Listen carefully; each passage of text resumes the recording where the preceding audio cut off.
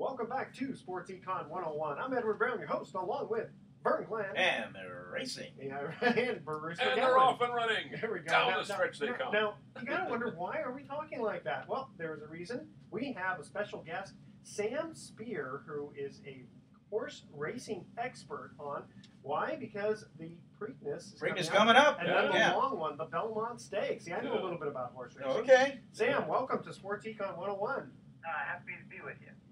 Okay, I, I, I gotta ask a quick question on this Kentucky Derby. Okay, when I was a kid, I remember that the best bet to make, and I guess you could do it on the Preakness and the Belmont Stakes, is betting on quote the field, which are like the 15 of the worst horses, and you bet them to show, and that's usually a good bet. But I couldn't figure out which which uh, yeah you almost, Can't but lose. I couldn't figure out which horses were in the field this time. But Sam bet on the California Chrome, didn't you say? we, we don't have the field anymore because we have 20 horses. Yeah. So everyone gets a slot. That's why I couldn't uh, find it. betting the field used to be good because uh, they used to run more than 20. Hmm. So uh, you just took, uh, you know, the, the, the highest odds. Of Yep. the, the, the horses that were put in the field usually went off at high odds. Hey, I got to ask you, how did that little horse win? I mean, I, we heard he was the favorite. We heard that it was a great story. The owner celebrated his 61st birthday the day he won. But you know, he was. I believe it's the oldest trainer too. With Yeah, 77, 77. yeah. Yeah, but that little horse, he was just a little man. He was t- tough. He was tough down the stretch. Well, he he's just pulled not away. the most royalty bred horse of all time. But as you know, we just finished the NFL draft. There'll be players making the NFL teams that were not drafted. Uh, uh, Mike Piazza was, uh, I think, uh, 250th, uh, only because he knew, uh, Lasorda knew his father. That's right. So there are people uh, and there are horses uh, that are overlooked, but this definitely was coming from uh, the mare cost eight thousand dollars. They bred it to a sire for twenty five hundred at Harris Farms, and here with ten five invested, they win the Kentucky Derby. That's amazing. And they along the way they turned down uh, for forty nine percent of the horse they turned down uh, six million dollars. Wow. That's a gro- I always looked at the hind quarters of a horse and bet on that, figuring that's where the legs come in. Right. Well, uh, it, it, it's important to have uh, the, the rear end of the engine and uh, the power that you need. But See? uh, this horse has been well uh, trained and conditioned by Art Sherman, a veteran jockey, former jockey and trainer, and uh, not a former trainer anymore, but he, he had cut back in the amount of horses he was training in '77. And to uh, come up with this uh, horse, he's done a great job because he gave him a nice foundation, racing seven times as a two-year-old. So he went into his three-year-old campaign and running the preps for the Kentucky Derby well conditioned, and then he started winning uh, these races and uh, very impressive style each time, as he did in the Kentucky Derby when he opened up in the stretch and had a five-length lead. Well, all of these all these horses, these these colts, they need to have a, a driver, and in this case, a rider. How much of a difference? I don't know whether it's furlongs, links, whatever. How much of a difference is it between a good jockey and a great jockey? Well, all things being equal, uh, you want the best manager, the best coach, the best jockey. They they can be the five percent that you need, but you definitely have to have the players, the horses, as they you need the horses. But in this case, Victor Espinoza uh, uh, picked up the horse, and he won his. He began this streak we're on right now of five in a row. They haven't lost since he's become the jockey. Uh, Victor started his career at Bay Meadows and Golden Gate Fields. He was apprentice uh, the leading apprentice rider here and finished second to Russell Baze a couple times before he took his tack down south.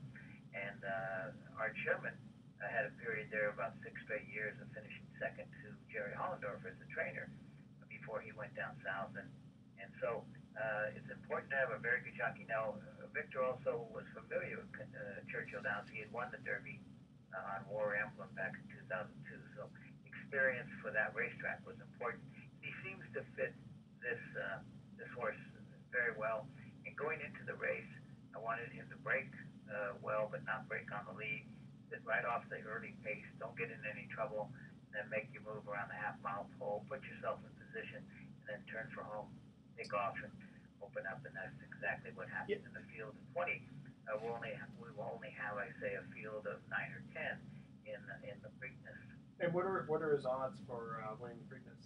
Well, tomorrow they will draw post position and they will lay the morning line, but I think that he'll be uh, uh, he'll be uh, a prohibited favorite, meaning he'll be uh, I think he'll be like four to five or three to five. Now, Sam, tell us why the Belmont is always the, you know, you, you see so many horses win the first two. I was lucky it's enough. in longest. It's the longest. Well, I, you know, I, I- it's not just the longest, but there's there's more to it than that. It's it's the pressure. But I get, I'm curious to get your thoughts about because I'm I'm not a horse racing expert, but I was lucky enough to cover the entire Triple Crown of horse racing when I worked in New York one year, 1981, when Pleasant Colony won the first two legs, and then got to the Belmont, and I remember walking down to the paddock area with the rest of the media, and the horse was all he had this this coat of uh, sweat, and everybody says, "Oh, he's washy. Something's wrong with that horse." And of course, he did not finish even close to the front of the pack. And I'm wondering why. You know, Edward mentioned that it's a longer race, but it's more than that, isn't it?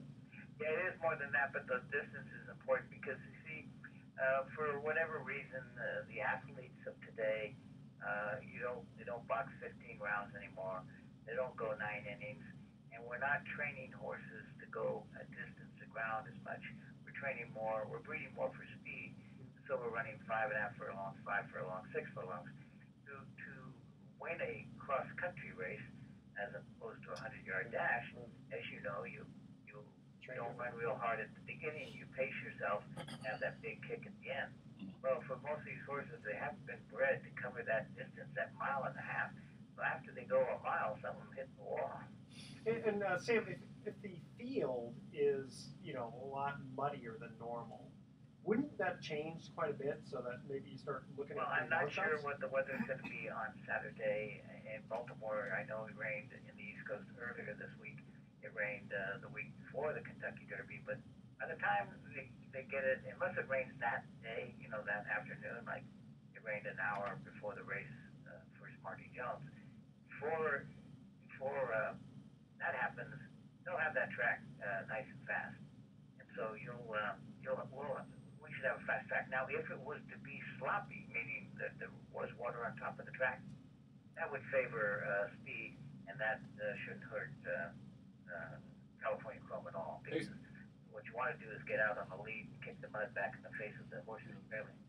On the subject of California Chrome, I was doing the highlights that day of the Kentucky Derby on the TV side, and and, and as I was voicing over the highlights, I, I was thinking, and then I later said on the air, I said, "Boy, man, all of these Kentucky Derbies, I don't know what, 170 some, what, uh, only four California bred have won the whole thing, with California Chrome Wow. being the first one. Get this, since what 1962? Is that right? Yeah, yeah. There's been 140 Kentucky Derbies. Okay, there you go. This was the fourth one, the first one since 1962. Well, Why? And, It's uh, because they're all at the well, beach. because the, what you do is you you have to have best mares, and the best mares are in Kentucky. Mm. You breed, uh, you try to breed the best of the best. So Kentucky's known as the bluegrass country.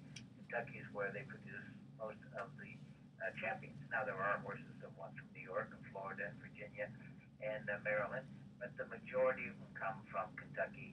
That's where the best mares are, and that's where they bring the sires to, to mate. So that's what it's been. So this is a tremendous boost for California racing to have a Calbred win.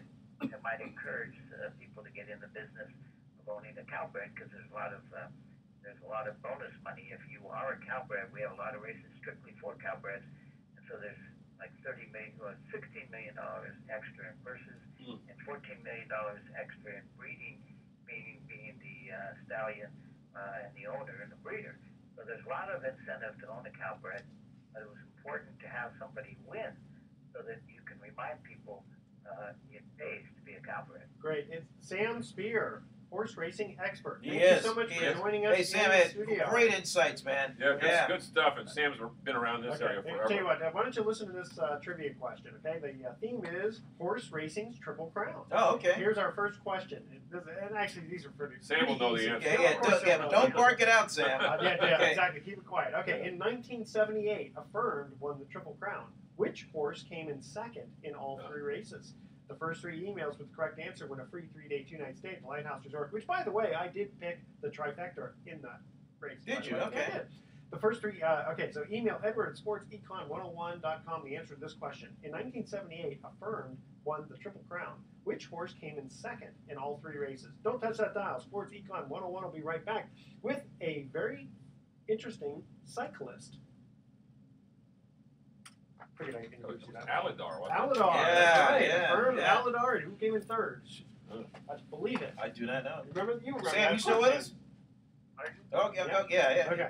Hey, Sam, they, that, that was real good. I mean, I could have, man, I, I, I could go on and on with Sam. by the way, the, uh, jockey was Steve Cauthen.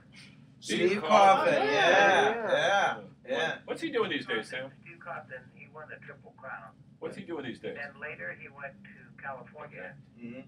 Right? And he lost 110 straight races. Yeah. Wow. Wow. Yeah, he kind of kind of died. He was. I remember. Million dollar man and winning all the races there back Wow. east. So he was getting too heavy to be a jockey here in the States, and he got a big offer to go to England uh, and Europe and ride for Robert Sangster, and he paid him a huge amount of money to be his personal jockey. Wow. So he went over to England. So when I first interviewed him, uh, he, he had a, a Kentucky accent, being uh, born and raised in Kentucky. And then the like the second time I interviewed him, he was traveling on an all-star team of jockeys for the International Jockey Competition. He had a British accent. Wow. And then the last time uh, we chatted, he was back home running a farm in Kentucky. Oh. He'd regained his Kentucky accent. Ah, I Oh, that's see. fun. I see. Yeah, yeah. Hey, Sam, now, thank now, now, how many? Now, let's see. We got we had Affirmed in '78. We had No, no, no, no, don't say, don't say anything. Don't say because I got some more. I got some more. I got I'm just trying to. trivia I'm just trying to think of the Triple Crown winners in my lifetime. Are there only Secretary. two? Oh, No, no, no, Secretary. yeah, because I, one No, I do have a question. No, no, no, don't, don't say it. Don't say it because I do have one in 1977. Okay, because the, the, the fact is, in the 70s, we had three Triple Crowns. Yeah. Three. Okay. Exactly, Ah, yeah. We okay. haven't had any since. Okay. All right. That was a great era I was. uh, to have three uh, champions in, in, in, in a decade and then not have one since then. Yeah, Mm. amazing. Sam, thank you know so much for joining us. To other sports, it's, it's not that easy. Yeah. Thank you so much for joining us, Sam. Okay. Sam, All right. I- I- I- I'll look forward to seeing you at the race. That's right. hey, I'll, I'll see you sooner than later, Sam. Okay. Take, take care, right. Sam. Good talking to you. Thank you. All right, man. Okay. Good guy. Very good Very guy. nice guy too. Yep. Okay, Good. so let me get. Um, All right. Okay. Gas station. all right, so Okay. Bruce, I'm going to give you Okay. this. Oh, am I sliding over? Um, yeah, well, yeah. That's a good way of doing it. All right, there we go. Now, Am I And gonna- if you want to slide over here so that the camera can see on there too, that would be great. These are the main uh, focus of the regarding the Sahara or mainly regarding it, uh, last expedition? Well, I was thinking the You know, it's Sahara. almost too bad that camera couldn't fit right here because through the glass you'd be able to get almost everybody, but through the reflection. Are you gonna have to redo this? No, it's, it's on. It's on. Oh. It's, it's just the. I just gotta want to turn see this if it one was on. in, in the Yeah. way. Is he off? This one's Turn him on. on. Do I need to Turn him on. switch? Wait a minute. Uh, boy, Oh, there we go. Oh, there, There we there he is. Ah, I got There he is. All right, No, we're good. We're good. we're good. right. I think it was a little. And if for some reason it, it shorts out again, you just have to kind of hold it. No, I'll just leave it alone. I won't touch it. And it's all it's all Yeah. uh, Does he need? Does he need these? yes. Here. Thank you. There you go. It always makes life easier. All right. So we'll come back with the trivia question and Okay. then we'll uh, Hang on, introduce. hang on, let me- Oh, do, do I need to clap twice again? Yeah, that how you do that. Um, Should, should I do my? uh, Tell me when you're ready. okay. What is that Spanish? You You dancing? speed? We dancing. Yeah, I one get it. Yeah, because he's getting one What is the Spanish dancing that's real popular? The uh, Yeah, there you go. No, no, no. Flamenco. Flamenco. Flamenco. Flamenco. There. There you go. He's gonna do All the right. Flamenco. Fandango. That's, a, Fandango. that's a movie that's like a Ready? That's the Castaneda. I can't say it. That's right. Okay, here we go. I do. Oh, good.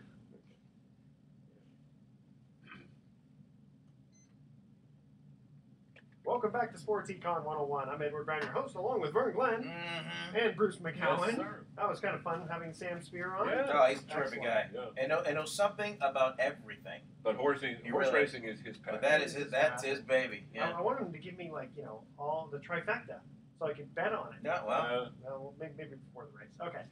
We went to the first commercial break. We asked this trivia question again. The theme was horse racing's triple crown. In 1978, Affirmed won the Triple Crown. Which horse came in second in all three races? Brucey? It was, it was Alydar. Alydar. Poor Alydar. Can you imagine coming in second? Well, All hey, three. I, I wonder if there's been a horse that's won second place in all three races. Well, what about the. Jeez, let me think here.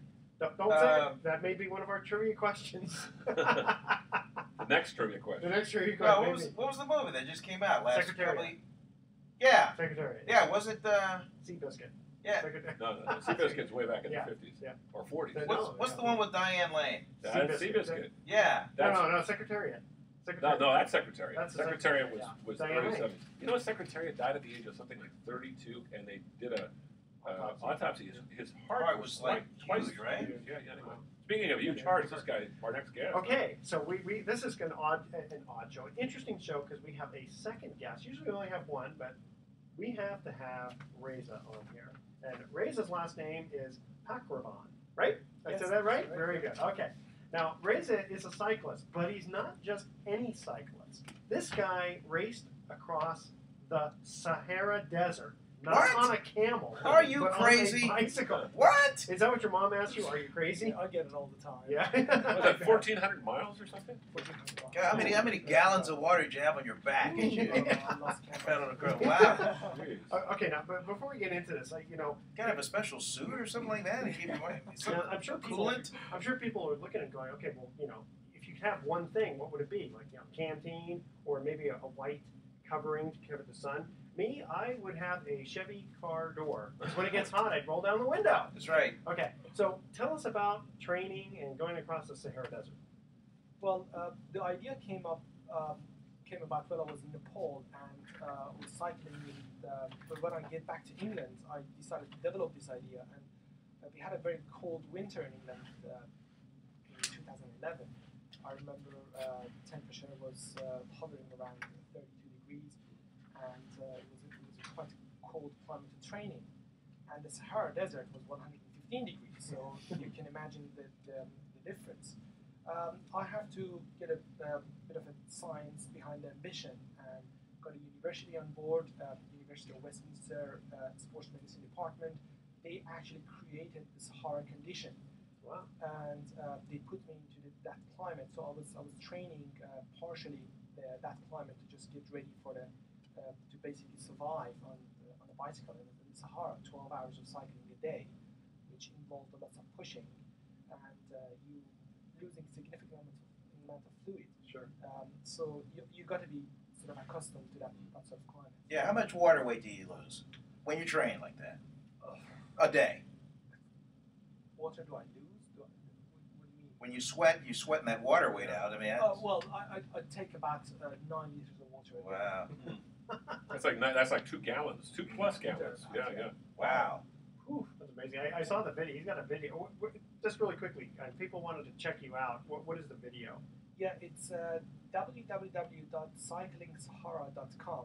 You go to the media uh, tab, and uh, there is a BBC documentary made of the trip Yeah. um, called "The Man Who Cycled the Sahara." Uh, it's on the top of the page. You won't miss it. And, and Anybody I- try I and talk you out of it? His, his insurance man. How about you? Are you married, Reza? Uh, no, I'm Uh, not. I was gonna say Oh, your well, wife is yeah, married. Yeah, yeah, yeah. Exactly. Actually, uh, talking about insurance, I was working for an insurance company. Oh. States. Ah. I went to get a kidnap and ransom insurance, and uh, not even a one single insurance company wanted to insure Oh, me no. because of the danger Of course, that yeah. area. but but here's the thing: is that well, here's the thing. Um, you didn't just go straight through because of there was some dangerous conditions. You had to kind of ride around. You actually had to go to South Africa to come around. You know? No, I had to. Um, it, it was a Guinness World Record attempt, so I had to do it. Uh, negotiate with them to do it in two legs. So the first leg was done in uh, Algeria, and the second leg was done in Sudan. Wow. Um, and I have to just go around the danger zone because um, just before I got there, uh, the Al Qaeda Maghreb uh, is an Al Qaeda branch that's working in um, operating in North, uh, North Africa, and sort of they take over the, the area in Niger. They, they kidnap lots of French mine workers.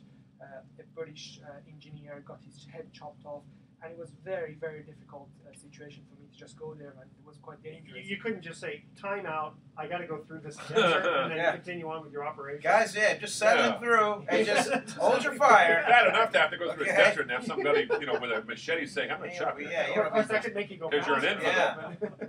Hey, Wow. th- this guy though, this, decisions. this guy, this guy was a really good athlete though. He, he played a lot of basketball, right? Uh, yes, before- I did. Uh, with, uh, up until the age of 24, I was playing uh, semi-professional basketball, but uh, you know, I decided to just put it aside and join the uh, rat race and join the financial industry. And you know, 10 years later, I just realized that I'm just missing out in life that I always wanted to do, and being a being a full-time adventurer. And I started doing sort of starting from micro adventure and just sort of build it up to the sort of the big, big adventure. Okay, so if I go to the gym and I have my, let's say, iPad with me, and I click on your video, can I, can I ride the bike, watch your video, and get sort of like the same same rush? I'm not sure. I don't. I don't mean to make light of it because it, it, it's awesome. I mean, Yeah. really, I- the only reason I'm teasing like this is because I, I my jaw dropped when I saw the video and I see him pushing the bike through sandstorms. You know, Yeah. Yeah. just like you would imagine. yeah. You know, and it's like you can't just because it, the thing is, uh, when everyone thinks about the Sahara Desert, you think about riding on sand, but it's not exactly like that all the time. It, it kind of looks like Mars, doesn't it? I mean, it really does. It Those does. pictures that you see of Mars that are that are transmitted thousands of miles. It's what the Sahara Desert looks like. Exactly. It's, it's just surreal. It's an unlimited horizon. It's just like it's infinite. It's like infinite amount of sand and nothing. That, that must have nothing made you feel good though about having the you had a driver Yeah. who stayed how far back from you? Quarter Uh, mile? No, he was he was having his own schedule. So uh, we were supposed to meet every 20 miles. Uh, but he was he was a tribal man, so he didn't have any good idea of the miles and kilometers. So um, sometimes that happened to be 50 miles, sometimes that happened you would see me like 10 miles. Um, so he was sort of touch and go, but I, I needed to have him as a um, backup and support because it was impossible to carry Of that course. amount of food. Well, if you would have just had a tow rope and put in new, had him put in neutral, you could have towed him the whole way, and then you wouldn't have lost him at all. no, but uh, well, I mean, it's very essential to have him on board because he's the he's, he's part of the Tuareg tribe, and Tuareg people that are people that actually belong to that desert and they live there, and surviving in that condition. I mean, if you are Bear Grill, probably you can do it, but an office worker like me, just getting out there and experiencing that situation, it was all about survival. And having him on board, he was the man that actually taught me how to survive in a, in a, in a tribal manner. I mean, for example, uh, one thing that I didn't know is like having very sweet tea. It's something that actually allow you to uh, overcome your dehydration. That's that's how that's how they survive. They Sweet tea? Sweet tea. Yeah, Yeah. They, they Wow. drink lots of sweet tea with lots of mint. I'm just wondering the mental part. You know, if I, I mean, I, I'd be scared to death to even start this thing, and just realizing that you know you can't just stop halfway through and then go, eh, I'm done with this. I want to go Mm. home. I mean, how do you how do you overcome that mental part? Well, a lot of it, just getting to the starting point is 70% of the attempt, 70% of the effort. You've got to do so much to, you know, by the time you get, it's, it's, it's not only the physical training, it's also mental, it's also um, getting sponsorship in place, um, getting all the logistic plan. How do you trust a guy in the Sahara Desert to just, you know, for a first time, I meet, you meet this guy and he's supposed to uh, be with you for the next 15 days. Um, and what does it actually take to cycle the Sahara Desert? So by the time you get to the starting point, you should have answered all those questions. Yeah. So the fact that a sandstorm coming in front of you, or other obstacles, or uh, you know getting a latitude wrong, and you have to uh, you know cycle through the sand dunes and uh, carry your bicycle, that sort of thing really shouldn't really break you down because you have to do your homework, homework properly. Yeah, you how much there. did you have to pay that guy to follow you? Basically. Actually, very small amounts. It's about twenty dollars a day. Wow. but that's a lot of money for those people. Yeah. Yeah, yeah. What was the communication setup like? Oh, that's that's a very interesting point. Um, he was speaking tiny bit of French and Arabic and uh, Berber, which is the language of those sort of people in uh, North Africa. And my command of all these three languages was absolutely zero. So somehow we managed to communicate. At the beginning, it was very difficult, but uh, we somehow found sign language and we started understanding each other. So it was a great man. Now you're. Night, nighttime you have a flare gun. I was gonna say, I was gonna say, Rez is from Iran originally, but Yeah. you're a British subject, so you've Yeah. lived in Iran and England, right? Yes, that's right. Okay. The language is co- the, the, we speak Farsi, so Yeah. they, they speak Arabic, so it's completely two Oh, wow. Good point. Tell you what, we're going to cut to our uh, second commercial break here. Stay, stay with us for a while. We got, I'm sure we got a few questions to ask you here. Like, what do you eat out there in the desert? Yeah, that's- besides the scorpions and all that stuff, mezcal. One of those little uh, creepy, crawly, uh, you know, lizards or something. I'd say witchetty grubs, but that's Australia. Yeah. Okay, here's the second commercial break trivia question again. The theme is horse racing's triple crown. Before Secretariat in 1973, you had to go back 25 years to find the last tri- triple crown winner. Which horse won triple crown in 1948? The first three emails with the correct answer win a free three-day, two-night stay at the Lighthouse Resort. Email Edward at sportsecon101.com the answer to this question. Before Secretariat in 1973, you had to go back 25 years to find the last Triple Crown winner. Which horse won the Triple Crown in 1948? And uh, when we come back, we're going to ask more questions of Reza Akravan. Hey, my Farsi's pretty good, isn't it? Yeah. We're going to ask you some more questions about cycling and uh, about uh, the Sahara Desert and, and what's your next adventure, okay? Sure. Don't touch that dial. Sports Econ 101 will be right back. I was gonna say War Admiral. That's what that was my guess. Yeah, but that you know that could be. Where's that even further back? Uh, I think it's probably because it's right after World War II. We were No looking it up on the internet. No, we were I flush. We were flush in the uh, the aftermath of World War II. I grew up as a kid. My dad was a fighter pilot during the war, so yeah, over in, in Japan. So as a kid growing up in the fifties and early sixties, uh, you know, those guys that fought that war now all of them are gone. Um, they were our you know dads and they were our heroes. So had, and then when we when we got off and into the mess of Vietnam, that changed everything. It was like you know. I know they- these guys instead of coming home like heroes, people got spit on and stuff. Well, you know, unfortunately, it was a bad. It was a bad. It was fought under false pretenses. We went over there and Yeah. killed a million people and had fifty-eight thousand. I mean, it's just you know, like most wars, they're I heard it's Pointless. and, uh, with the Korean War, people didn't even really like know what it, it Yeah. could happen. In fact, my father-in-law was on Pork Chop Hill. oh, Yeah. oh, that's brutal. That was really brutal. Do, do you, here's a little fun, fun statistic. Um, how many bullets per person were, were used per kill? So basically, take how many bullets were used Probably by about forty or fifty. fifty thousand bullets Wow. per person. Wow. Are you for real? So yeah, Wow. that, so there's a lot of. Yeah, yeah, yeah. Well, you Wow. shoot enough out there, you're going to hit some eventually. You? That's a good point. Yeah. Is is is, is May twenty seventh a Thursday? May Uh, twenty that seventh would is a be Tuesday. It's Tuesday. a Tuesday. All right. May They're, 27th is Tuesday. I, Yeah. I have I have three prospective dates to be a ball dude at the Giants. Oh, nice. Oh, I can do it Tuesday the twenty seventh. I can do the day game Wednesday the twenty eighth. Do the day game. Or I could do Yeah, day game. yeah, I like the day game. Yeah, day game is more fun. Does that mean when, when foul ball comes, you can I've done dive? it. I've done it before. Oh man, Yeah, I just always before. wanted to be like.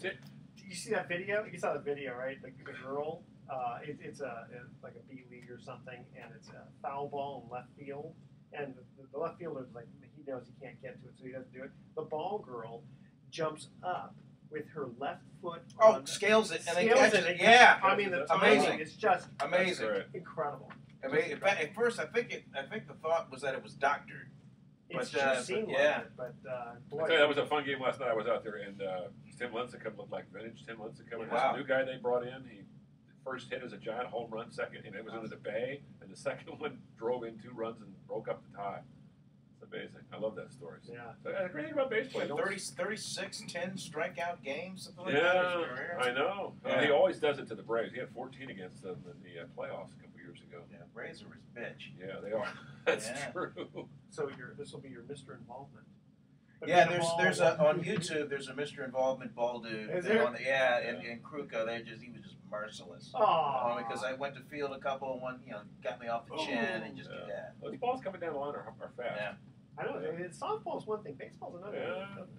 Shots down there. Yeah, these guys, yeah, when they hit it hard, it's Yeah. foul. It's you know, it's get either get out of the way or yeah. yeah. You got to. Yeah, I want to. I want to see you like dive. You know, and get in the stands. Well, some of the old guys do that, and they take the pratfalls, but it's great. I mean, just the But it's the it's, it's the pop ups in foul territory. They, they tell you, you know, you get, get your stool and get the hell out of the way because these guys, you know, you can make Yeah. a play on it. That's Yeah. right. Yeah. Yeah. There was uh, Kirk Gibson, I think, was playing third base, and the umpire was just kind of watching him like this too, and he was getting in the way. It was just ridiculous. Yeah. Okay, you guys ready? Yep. No. Okay, go not yet. Fun show. Yeah. Good stuff, yeah. Russ. Oh, I didn't even see the second camera. Oh, I, I didn't Oh. see that. There you go. Yeah. Oh, he's, hey, you, yeah, you got it covered. He's Yeah. He is a professional. professional. That's all right. Yeah. How about three Okay, claps give me this two time? claps. Give me three. I don't care. No, I like doing You're so good. I love you. Okay, here we go. Welcome back to Sports Econ 101. We're having too much fun here. We got Vern Glenn in the studio. We got Bruce McGowan in the studio. We have Reza Pakravan in the studio. Okay, when we cut to the second commercial break, we asked this trivia question again. The theme is horse racing's triple crown. Before Secretariat in 1973, you had to go back 25 years to find the last triple crown winner. Which horse won the triple crown in 1948? And both of you answered. Yeah. We said War Admiral. No. No, You remember okay. War Admiral was with uh, Seabiscuit. Ah, That Oh, was back in the 30s okay. and All 40s. right, all So right. But you have heard of this horse. this isn't Seabiscuit. No, but what happens when the policeman pulls you over? You get a Ticket. Citation. Citation. That's There it. you go. Citation. Citation. Ah, yes. Okay, now we have in the studio again, as I, I mentioned, we have Reza Pakravan, who's a cyclist who cycled across the Sahara Desert. And also cycled across the uh, desert in Chile, is it? No, I walked the desert in Chile. You walked the desert in Chile. And this Oh, guy, jeez. Patagonia Desert. Patagonia Desert. Wow. That's, and how long is that? Uh, it takes 30 days uh, from Tierra del Fuego to Bariloche. Did Four. you carry your bike with you, or uh, No, no, no, just- just, just bring walked. over? Just Just walked. walked. Dude walked. What, what is that, four or five hundred miles? Uh, yes, uh, 800 miles. On his bare feet. You're No, doing just 20 kidding. yeah, 20 miles backwards and in a sack. I'm That's telling right. you, 20 miles a day. I, I backpacked 20 miles when I was 22 up in the Sierras one day, and I w- we had to take a break in the middle of the day and took a nap, literally. I've never been so tired. See, for it's, I I don't know how you guys can do that. For me, it's the hundred yard marathon. You know, not dash or even run. It's a marathon. You know, so I don't, I don't know how you guys can have that kind of endurance. My wife is like that. I was, like I said, I was She's 22 years old, so Yeah. you know that was 40 years ago. I have a two-part question. First of all, uh, you got to wear any like sunblocks, something like that, protect your skin when you're doing this. And then the second one is nutrition. I mean, I, I, I, I Yeah. w- w- you have to eat something relatively healthy so your body can like feed off of that as you go. I mean, because that the burgers at the big, big old burgers at the finish. Yeah. Got to get there. It's you know? that, that was the incentive Yeah, for him to finish. Exactly. Yeah. Actually, but, but if, if you get your hands on a burger, it would be a lucky day because you, you need calories. Yeah. Like you need 6,000 calories a day, and burgers Wow. are a very good source of calorie, but obviously in the middle of the Sahara Desert, No. it's very difficult to get all of the burgers. So I, Only in a, a- oh. camel burger, but Yeah. Uh, only in a mirage. I s- I always rely on my ration packs. Yeah. And, th- those, those ration packs give you a significant amount of calories. Like one portion is about uh, 1,000 calories. So um, I, need, I need to have quite a few of them.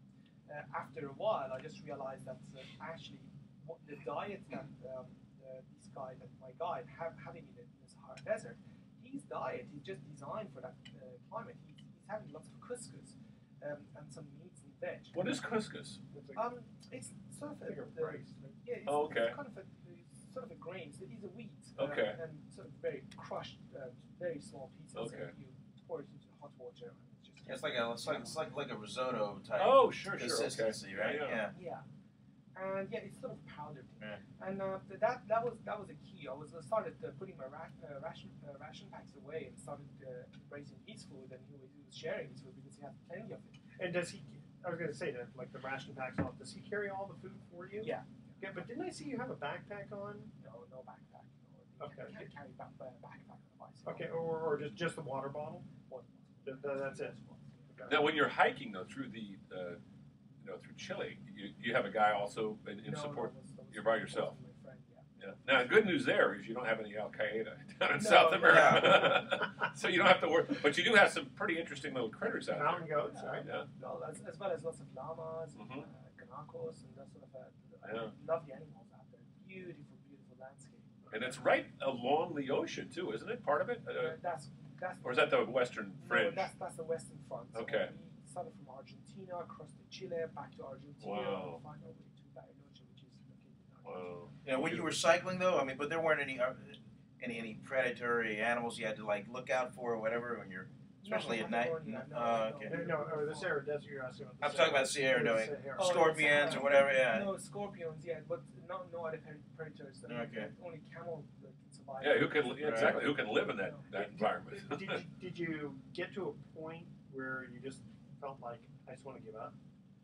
Um, not, no, no, no. Actually, uh, in, I had I had quite a tough time during the sandstorm. I, I hit really badly, and you know, I lost it a couple of times. But uh, actually, the, I always thought the worst thing I can do is giving up. You know, The radar pick up the sandstone. I mean, did you see it, or did it just all of a sudden, bam, it just appeared? it just Oh, appeared. oh, yeah. Wow, really? Yeah, Wow. yeah, Wow. yeah. I'm curious. I'm curious. So, uh, Reza, are you are you spiritual at all? Are you into meditation or anything? Because you know, focus and concentration is so important. God when you're in Well, I mean, Sahara. I mean, seriously, some of the best athletes I know are guys that that you know they get into the zone, so to speak, and they they tap into something, and whether they're you know Buddhists or whether they're just practicing meditation, I don't know. I've heard stories about climbers that do this sort of thing. I mean, did you have any any of that, or are you just all business? You know, you know, you can you prepared and you're ready to go. I'm, I'm not spiritual at all. Um, I was uh, getting to a zone is absolutely crucial. The, the first uh, 20 miles every day, it's basically is a challenge to get to that sort of a mindset and to that mentality to just carry on and get into that sort of a consistency and um, get a rhythm. Once you get that rhythm, you can keep going. And then some stuff, I, I gotta think that there's there, there are times that you said I'm going to just push, get extra miles in for today, and then ease up the next day. Yeah, exactly. Um, it was the, the, when, when the when the climate was good, when it, uh, you were feeling good, you, you can you can push yourself to the limit, and you can make big miles on the days that the conditions are not great. So you just have to like kick back and slow down. What was the? Let me ask a quick question before we go. Uh, what was the hottest that, that it got? 150 degrees. Oh, Wow. It was dry heat, though. Go ahead. you're in a sauna. I mean, literally, that's a You- sauna bath. You said you didn't have any radar, but I mean, it- it- was there some kind of a I don't know, a, a, a, a trip tick or, or a gauge or something like that, so you knew how far you had gone, how much farther you had to go? I mean, you- did, did you have? You must have some sense of, of how much ground you're covering Yeah, per day. I had a, I had a, a chip computer as well as a GPS. Mm. Uh, so the GPS would tell me you know, how, how far I'm going. Did you at least have earphones to listen to music or Oh something? yeah, absolutely. That's crucial. Yeah.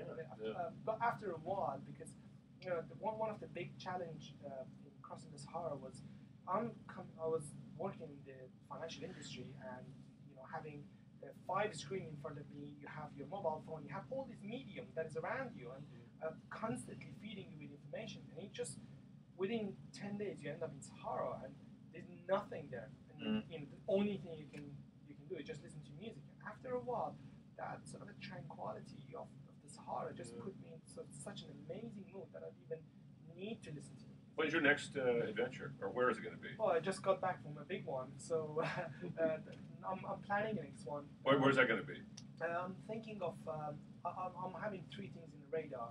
Uh, first is um, cycling a Trans-Amazonian highway. Uh, North, north, uh, north part of South America, uh, through through the through North Amazon. South, South Right, America, that's right. correct, through the Amazon. Right. Um, and from um, Ecuador uh, to throughout Brazil uh, to from the source to, to the Atlantic Ocean. Wow. Well, if you want to cross the Antarctica, I can hook you up. I know where that is. yeah. How, Yeah, yeah. how uh, far would be going through Brazil? Um, three and a half thousand miles. Ooh, Um, that's like going across America and plus 500 more miles. yeah, probably. You're going to need a little Wow. bit more gallons of water on that one. Yeah, yeah. So uh, there's plenty of water. out Yeah. there. Yeah. Just watch out for those alligators. Yeah.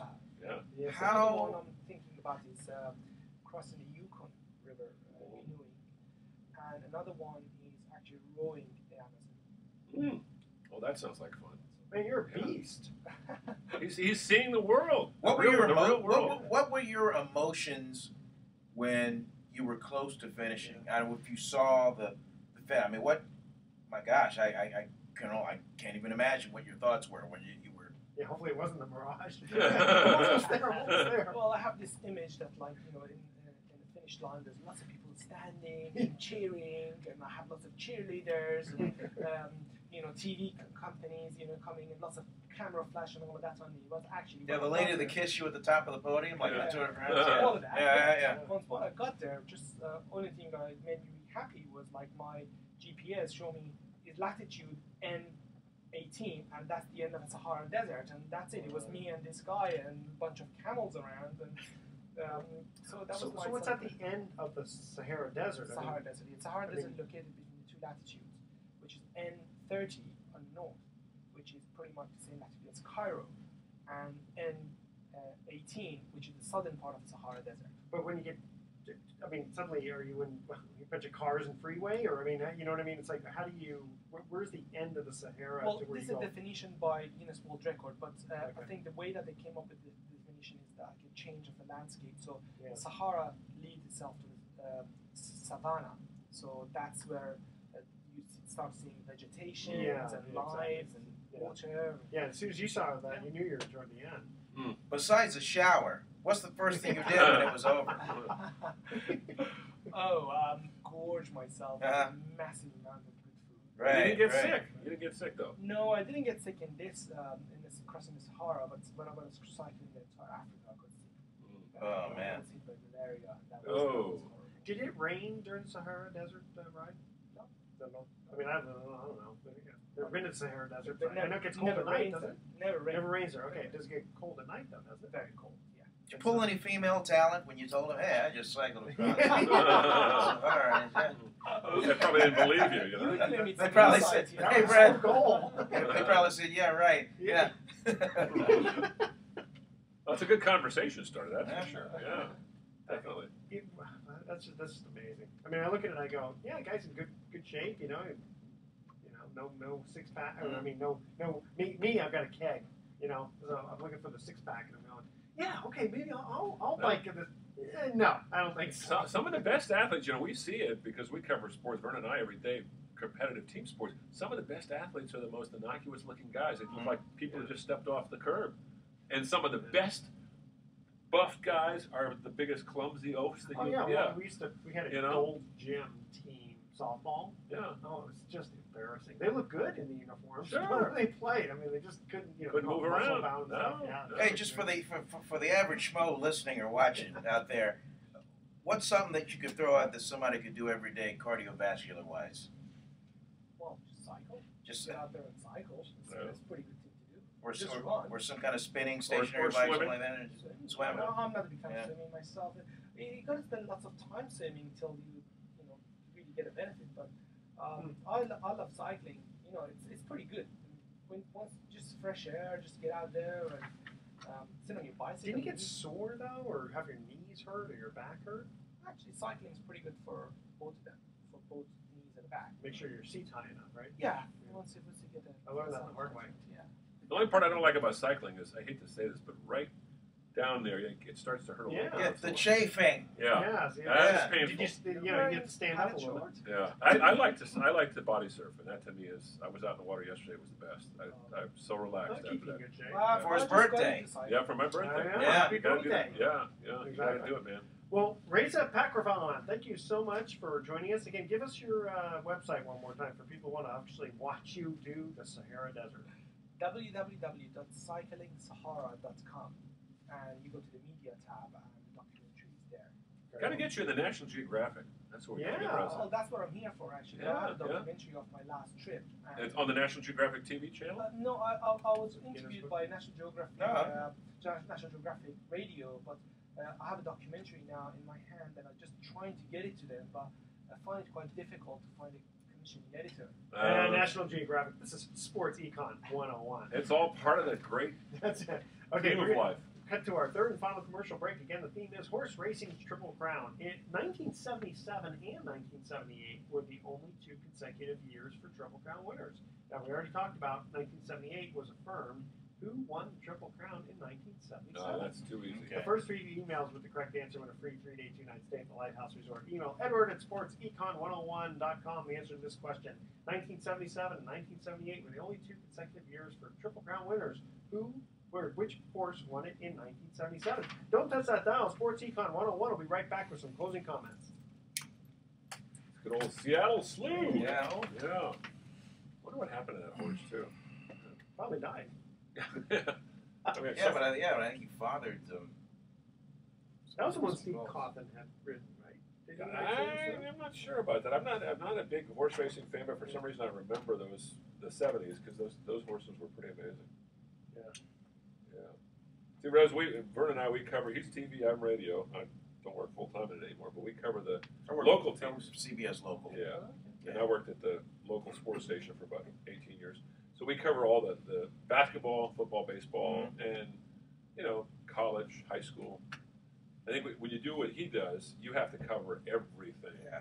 When you do what I do, you're more sort of Specialized. Specialize it in the major league, major college, because that's what the people listening to the radio want to hear. Like tomorrow, I have the Giants, but on Thursday, I'm doing a uh, doing a feature up in Nevada on a on a on a girl born with spina bif- bifida or whatever how you pronounce it. Spinal bifida. Thank you, spina Yeah. bifida, and uh, she uh, she swims for uh, like a local swim team. yes, that's has, cool. yeah, and Wow. she, she's been doing it since she was like Wow. seven. So That's great.